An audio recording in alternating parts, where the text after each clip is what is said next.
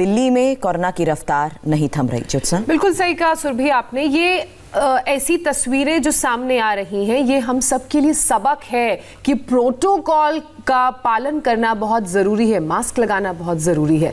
कल फिर से राजधानी दिल्ली में कोरोना संक्रमण में तेज़ी दर्ज की गई है। कल दिल्ली में कोरोना के 6,224 नए पॉजिटिव केस सामने आए हैं। और सबसे चिंता की बात यह है कि कल एक बार फिर से एक दिन में कोरोना से सौ से ज़्यादा मरीजों की मौत हुई है।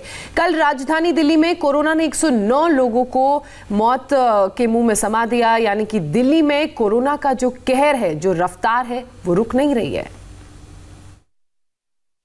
आपदा के गहरे समंदर से हम निकलकर हम किनारे की तरफ़ बढ़ रहे हैं। हम सभी के साथ, वो पुरानी जो एक शेर शायरी चलती है, ऐसा ना हो जाए कि हमारी किश्ती भी, वहाँ डूबी, जहाँ पानी कम था। ये स्थिति हमें नहीं आने देनी है। प्रधानमंत्री क्यों सावधानी बरतने की बात कह रहे हैं? क्यों वो कह रहे हैं कि कहीं ऐसा ना हो कि हमारी भी कश्ती वहाँ डूब जाए, जहाँ पानी कम था? तो उसका जवाब है, ये तस्वीरें।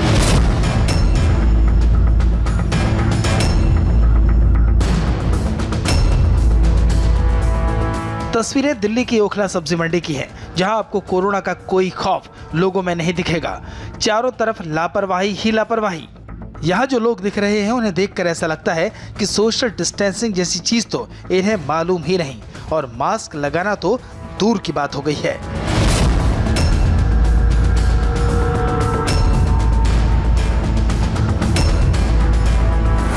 राजधानी दिल्ली में कोरोना से हर दिन 100 से अधिक मौत हो रही है, लेकिन इसका डर लोगों में नहीं है। लेकिन इसके बावजूद भी आप मार्केट प्लेस में पहुँचे, कहीं भी पहुँचे, सोशल डिस्टेंसिंग बेशक संभव ना हो पाए, लेकिन लोगों ने मास्क भी प्रॉपर नहीं लगा रखा है। अब ये दूसरी तस्वीर देखिए, यहाँ आपको और लापरवाही दिखेगी। दिल्ली में कोरोना से कितने भयानक हालात हैं, इसका अंदाज़ा आपको दिल्ली के सबसे बड़े शमशान घाट की तस्वीर को देखकर हो जाएगा। पंजाबी बाग शमशान घाट में अंतिम संस्कार के लिए पिचानवे प्लेटफॉर्म हैं। इनमें से 42 प्लेटफॉर्म सिर्फ़ कोरोना मरीजों के अंतिम संस्कार के लिए रिज़र्व करने पड़े, लेकिन इसके बाद भी शमशान घाट में आग नहीं बुझ रही। शवों की लाइन खत्म नहीं हो रही। ये देखिए, एक लाइन से जो ये चिताएँ जल रही हैं, ये सभी कोविड की डेड बॉडी है और वो जो आज पहुँची है यहाँ पे, उनका अंतिम संस्कार किया जा रहा है।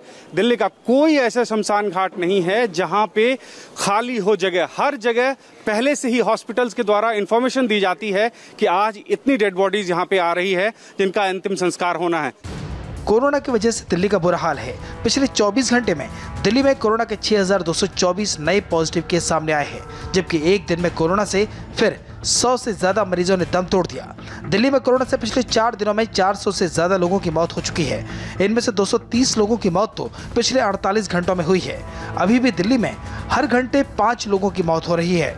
वेंटिलेटर कम पड़ रहे हैं हॉस्पिटल्स में बेड नहीं है और तो और शमशान घाट और कब्रिस्तान में भी जगह कम पड़ रही है। कोरोना का संक्रमण सिर्फ़ दिल्ली में ही नहीं बढ़ा। गुजरात भी कोरोना की नई लहर की चपेट में है। 24 घंटे में 1510 केस सामने आए, जबकि इसी दौरान 16 मरीजों की मौत हुई। संक्रमण बढ़ने के बाद गुजरात के अहमदाबाद, सूरत, राजकोट, वडोदरा जैसे शहरों में नाइट कर्फ्यू लगाना पड़ रहा है।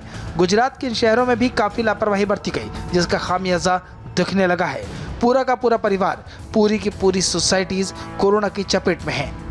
चिंता की बात यह है कि अब यह वायरस नए इलाकों में भी पहुँचने लगा है। अहमदाबाद के रिहायशी इलाके माइक्रो कंटेनमेंट जोन घोषित किए गए हैं।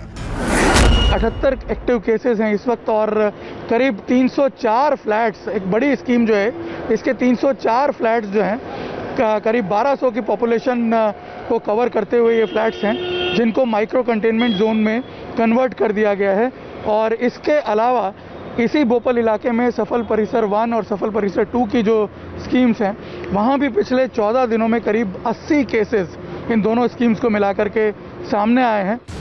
मुख्यमंत्रियों के साथ बैठक में प्रधानमंत्री ने साफ़ कर दिया कि जब तक वैक्सीन ना आए, तब तक संभल कर चलने की ज़रूरत है। इसलिए कोरोना से बचना है तो तब तक मास्क लगाएँ और सोशल डिस्टेंसिंग का पालन करें।